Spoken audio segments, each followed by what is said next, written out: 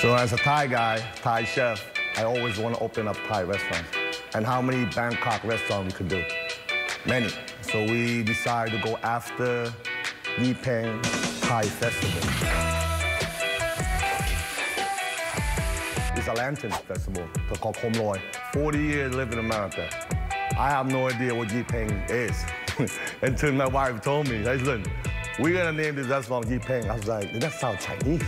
So we try to put the whole restaurant in, you know, who I am as a chef, who's my wife, also as, as, as our chef. So we try to combine our two together with the lantern. So not try to keep it traditional, but uh, let you feel a little bit different when come in here. So every segment of the restaurants is feel different, you know. I remember a lot of vendor when I, when I grew up. I always remember that uh, every time we would gather, all the families, always about food. I remember about food and heat. That's the two things I remember in Thailand. I think Asian, we all about big family gather, sharing food. It's all about, you know, food. Food bring everybody together, you know.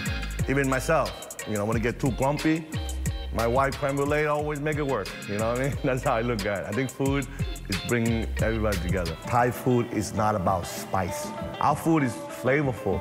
It's herb. It's a lot of stuff that will define our, our cuisine.